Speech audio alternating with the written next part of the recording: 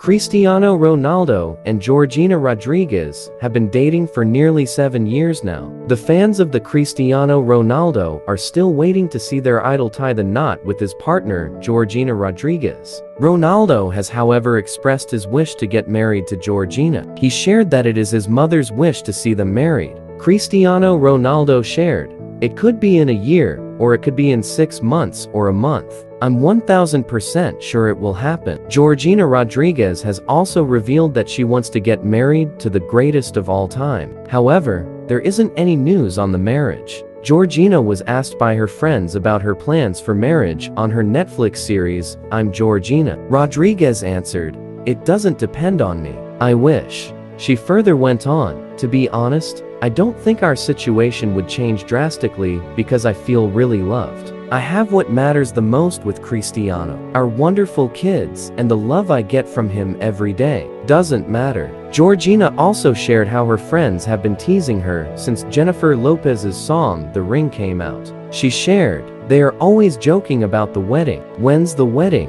Ever since Jennifer Lopez put out that song about The Ring. My god, they're always singing a tune. Even without marriage, the couple is a happy family and are currently living in Saudi Arabia. Make sure to subscribe our channel for more such content.